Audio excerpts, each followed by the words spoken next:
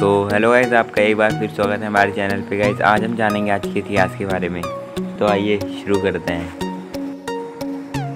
आठ सौ चौहत्तर में आज के दिन उत्तरी यूरोप के आइसलैंड द्वीप की खोज हुई।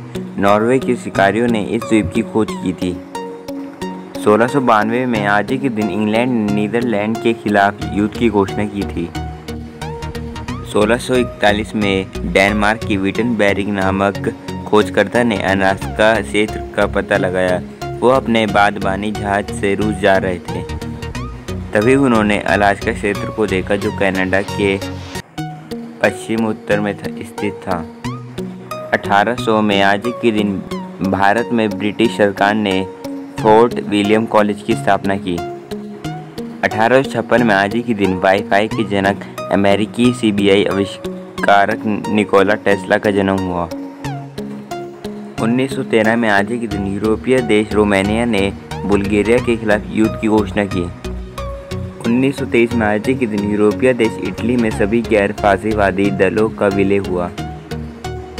1925 में आज के दिन सोवियत संघ के आधिकारिक समाचार एजेंसी के तौर पर टी की शुरुआत हुई।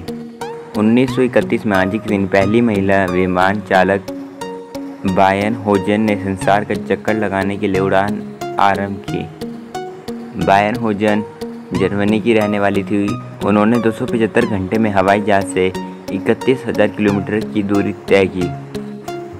1940 में आज द्वितीय विश्व युद्ध के दौरान फ्रांस के तत्कालीन प्रधानमंत्री और वरिष्ठ सेनाधिकारी हेनरी पेटर ने जर्मनी से अपने देश की पराजय के बाद सत्ता अपने हाथ में ले ली। उन्नीस में आज के दिन अमेरिकी ब्रिटिश और कनाडाई सेना ने दूसरे विश्व युद्ध के दौरान सिसली द्वीप पर हमला किया।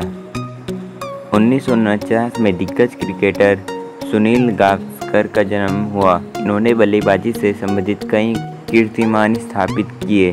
सुनील गावस्कर को उन्नीस सौ पचहत्तर में अर्जुन पुरस्कार प्राप्त हुआ। उन्नीस सौ पैंसठ में आज के दिन ग्वालियर में महिलाओं के लिए पहले एनसीसी कॉलेज की स्थापना हुई। उन्नीस सौ तिहत्तर में आज के दिन उत्तर अमेरिकी महाद्वीप के कैरिबियन क्षेत्र में स्थित देश बहामास ने इंग्लैंड से स्वतंत्रता हासिल की और संविधान अंगीकार किया। 1973 में पाकिस्तान की नेशनल असेंबली ने बांग्लादेश को स्वतंत्र देश स्वीकार करने वाला प्रस्ताव पारित किया। सो गाइस कैसी लगी आपको ये वीडियो? कमेंट सेक्शन में ज़रूर बताएँ। और ऐसी और वीडियो देखने के लिए हमारे चैनल को सब्सक्राइब ज़रूर करें।